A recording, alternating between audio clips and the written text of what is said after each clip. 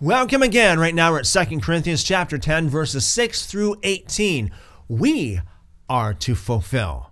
And don't forget, we just came from the passage of Scripture where Paul was talking about the weapons of our warfare are not carnal, are not of this world, are not of the flesh, but the weapons of our warfare is spiritual. We are to wage war first and foremost, spiritually speaking, within our own selves, to make sure that every reckoning, every reasoning, every judgment, and every thought that we have is in accordance to the law and the will and the ways of God. Picking right up from there, Paul says this and being in readiness to avenge all disobedience.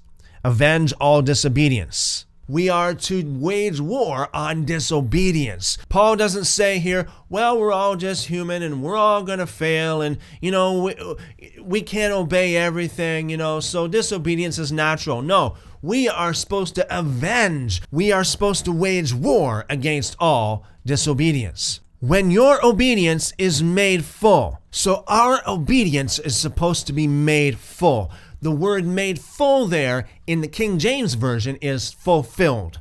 So we are to fulfill all obedience. So our obedience supposed to be fulfilled. Now that is a very very interesting word because it is the same word that Jesus used when he said, "I don't come to abolish the law, I come to fulfill it." It is the Greek word pleroo. So it means to cause God's will as made known in the law to be obeyed as it should be. That is what one of Christianity's most trusted sources of Greek definitions Thayer's Greek lexicon says about that. To cause God's will, as made known in the law, to be obeyed as it should be.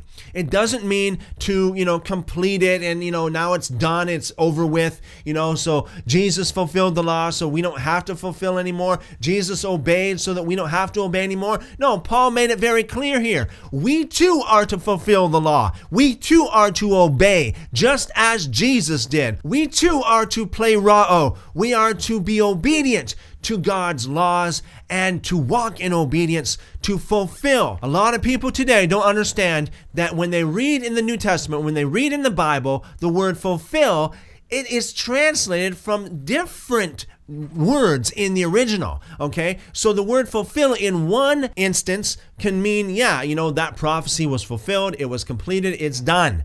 In another instance, that word fulfill pleroo doesn't mean it's done. It means it's a continual thing. It means you got to keep on doing it. It is obedience. It is pleroo. It is causing God's will, as made known in the law, to be obeyed as it should be.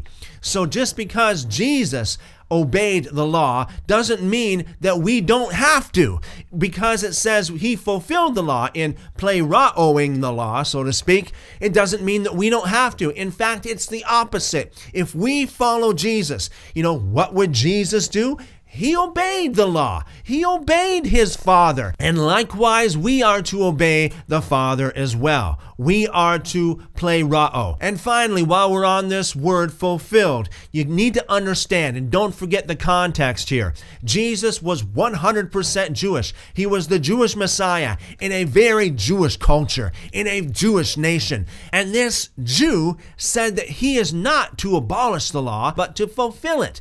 Ask any practicing Jew today, especially the Orthodox Jews, as they are the Jewish people who are supposed to be living according to the ways. Ask any Orthodox Jew today that's practicing, go up to them and say, Sir, can I ask you a question? Do you fulfill the Torah? Do you fulfill the law of God? And if they're a practicing Jew, I guarantee you they will respond by saying, Yes, Absolutely, we do fulfill the Torah. We fulfill the law of God. That does not mean that they abolish it, that they burn it up or throw it out, that they bring it to an end. That simply means, again, that they obey it. And that is exactly what Jesus meant. And that is what Paul said we are supposed to do here in this age. When your obedience is made full, fulfilled, do you look at things only as they appear in front of your face? If anyone trusts in himself that he is Christ, that he belongs to Christ, let him consider this again with himself. that even as he is Christ, so we also are Christ. For even if I boast somewhat abundantly concerning our authority, which the Lord gave for building you up, and not for casting you down, I will not be ashamed, that I may not seem as if I desire to terrify you by my letters.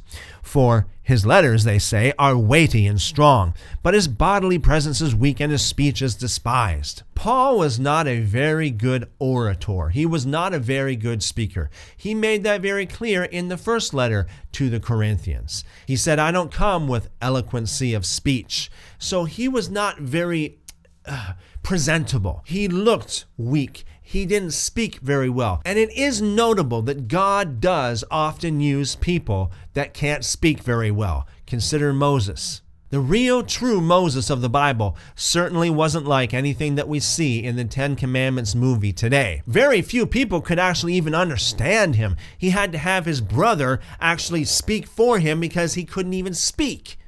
So God uses people that really have a problem speaking and he uses those people in a very, very powerful way. Let such a person consider this that what we are in words by letter when we are absent, such are we also indeed when we are present. For we are not bold to number or compare ourselves with some of those who commend themselves, but they themselves, measuring themselves by themselves and comparing themselves with themselves, are without understanding. But we will not boast beyond proper limits, but within the boundaries with which God appointed to us, which reach even to you. For we don't stretch ourselves too much, as though we didn't reach to you, for we came even as far as to you with the good news, with the gospel of Christ, of the Messiah not boasting beyond proper limits in other men's labors, but having hope that as your faith grows, we will be abundantly enlarged by you in our sphere of influence, so as to preach the good news, even to the parts beyond you, not to boast in what someone else has already done. For he who boasts, let him boast in the Lord. And again, Paul quotes the Tanakh. Jeremiah, Jeremiah chapter 9, verse 24. For it isn't he who commends himself who is approved, but whom the Lord commends. And it's my prayer that the Lord commends every one of you as you go seek him with all your heart. And if you do, you will find him. Call upon him, and he will show you great and mighty things. Love you guys.